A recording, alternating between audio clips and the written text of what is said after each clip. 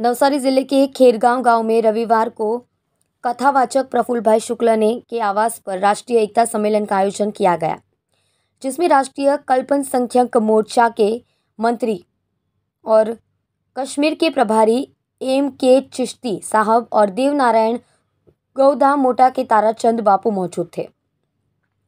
इस अवसर पर 108 साड़ियों का भी वितरण किया गया। राष्ट्रीय अल्पसंख्यक मोर्चा के मंत्री एम के चिश्ती के राष्ट्रीय एकता मंच के मंच से कहा कि अठारह सौ सतानबे में आज़ादी शुरू होने से पहले सूफी और साधु संतों ने सत्रह में यह लड़ाई शुरू की थी। एक देश जो एकजुट नहीं है, वह टूट जाता है। भारत मानव सभ्यता का जन्म स्थान है। सभी की मूल मातृभूमि भारत है। हम भाग्यशाली है कि हम भारत में पैदा हुए हैं। हमें धूप की तरह जलते रहना है और खुशबू फैलाते रहना है। जहाँ अंधेरा हो जाए, वहाँ दीपक जलाए। जब यह शरीर भारत के पंच महाभूत से बना है तो इस मिट्टी के प्रति वफादार रहना चाहिए। आत्मा अमर है, शरीर मर जाता है। मोक्ष प्राप्ति के लिए अच्छे कर्म आवश्यक है। खेरगाम में फिर से प्रज्वलित राष्ट्रीय एकता के दीपक का हिस्सा बनना सम्मान की बात है। भारत माता मातृभूमि है, जिंदाबाद जिंदाबाद के नारों ने देशभक्ति का परिचय दिया। हिंदू मुसलमानों ने जिंदाबाद का नारा लगाकर राष्ट्रीय एकता का परिचय दिया। पद्मश्री कनुभाई टेलर ने भी इस अवसर पर अपनी देशभक्ति का इजहार किया। इस मौके पर ताराचंद बापू की ओर से 108 गरीब बहनों को साड़ियाँ बांटी गई।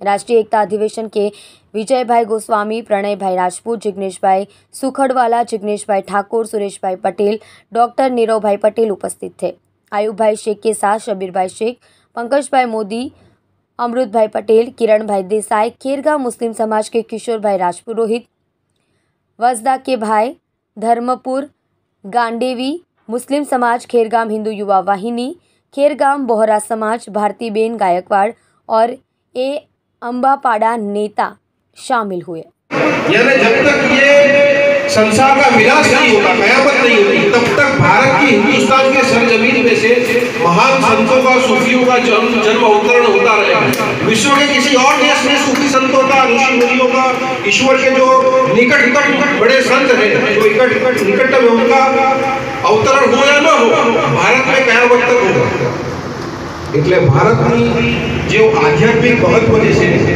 એ અલગ અલગ ધર્મોમાં પણ અલગ અલગ સંતોએ પણ ભારતની ખૂબ ખૂબ તારીફ બયાન કરી છે.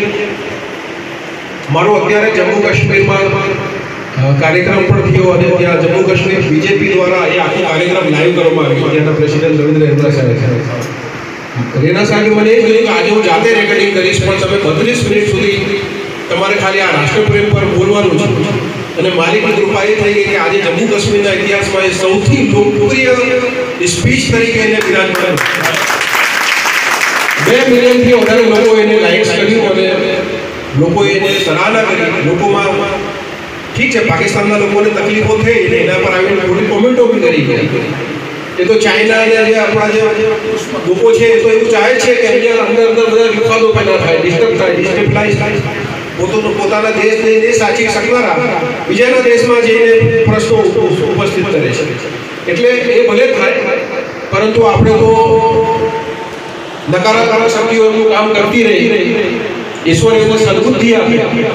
પણ આપણે તો સકારાત્મકના વિચાર સાથે એક સંતનું કામ જ એવું હોય છે કે અગરબત્તીની જેમ, ધૂપની જેમ સળગવું. પોતે સળગવું અને બીજાને શ્વાસ શ્વાસ પહોંચાડવું.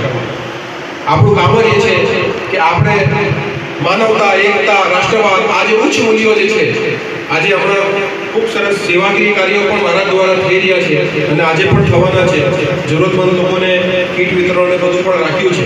એટલે માનવતા અને રાષ્ટ્રવાદ આ એક સિક્કાની બે બાજુઓ જેવી છે.